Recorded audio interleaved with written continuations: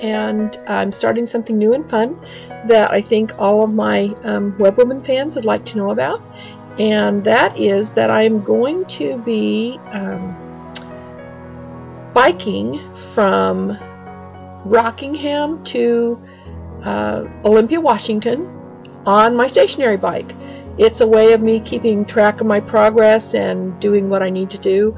I'm diabetic and one of the cool things about um, exercise is it helps you maintain your blood sugars at a proper level, not to mention the weight loss benefits and the cardiovascular and all that kind of cool stuff.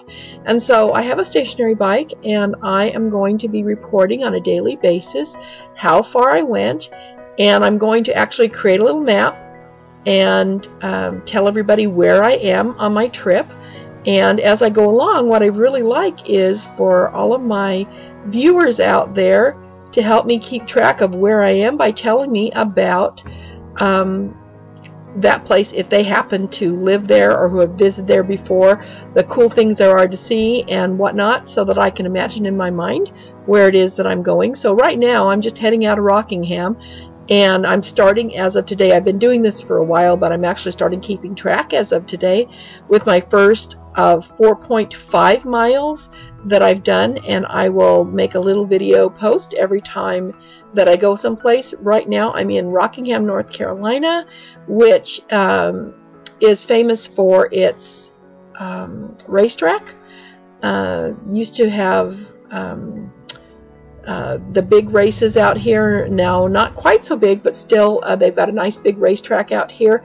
And there's some other things that I'm going to find out about Rockingham and its history and whatnot and report uh, until I actually get out of Rockingham and um, on the rest of my journey. So uh, stay tuned and we'll see where I get to next. Thank you very much. Have a great day. Um, one quick thing before I uh, sign off. Um, as you're watching this on YouTube and um, you think that this is cool and fun, if you want to share this with friends that you know who may actually live in the areas that I'm heading to or um, just you know want to subscribe or be my friend or whatnot um, all of the buttons are like down there someplace. And um, uh, and on how to do that. And I would love to have you as a friend or subscriber on the Webwoman. Obviously, I do some other things too, but this is my latest project, and I think it's going to be lots and lots of fun. So um, join me as I travel across the United States, and we'll talk to you in the next edition. Bye-bye.